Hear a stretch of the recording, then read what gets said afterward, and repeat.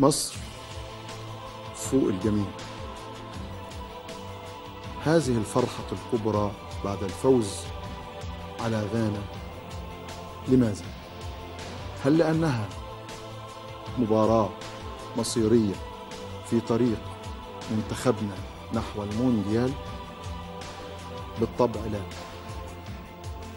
لأن ما زال أمام منتخبنا 12 نقطة هل لأن المنتخب المصري كان في حاجة ماسة إلى الفوز؟ جائز. ولكن هناك أسباب أخرى أراها أراها منطقية.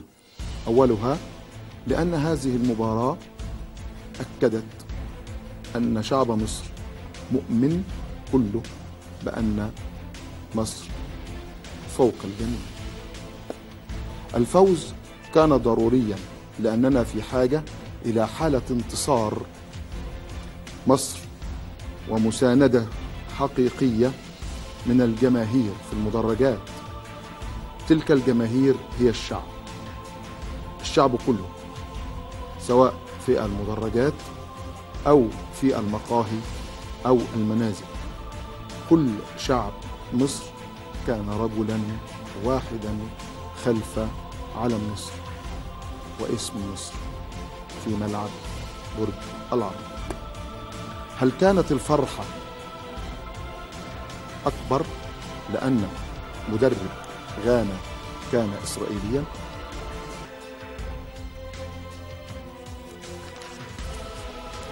ممكن لأن شعب مصر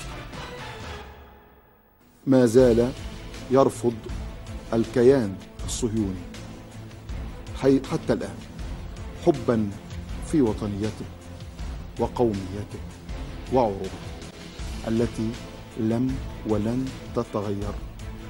هل الفوز كان ضروريا في هذا الوقت بالذات بعد أكذوبة 11 11 نعم هذا هو السر الحقيقي لفرحة مصر وأبناء مصر لأنها أكدت من جديد أن مصر فوق الجميع.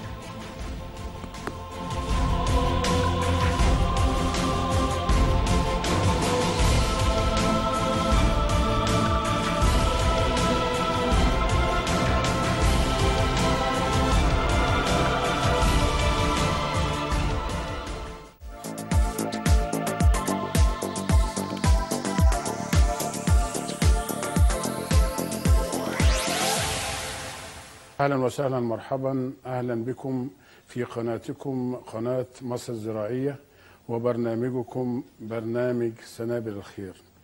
نحن اليوم في مدرسة الوطنية.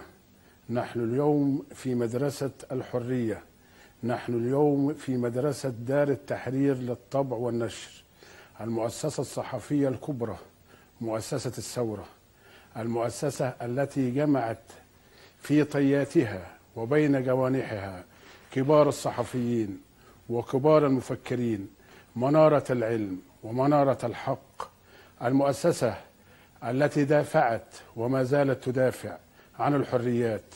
المؤسسة التي ساندت الحق ووقفت مع الفقير ووقفت مع جميع فئات الشعب وقفت مع جميع فئات الشعب بلا تمييز ولا تميز الفقير والغني. والكبير والصغير في هذه المؤسسة سواء.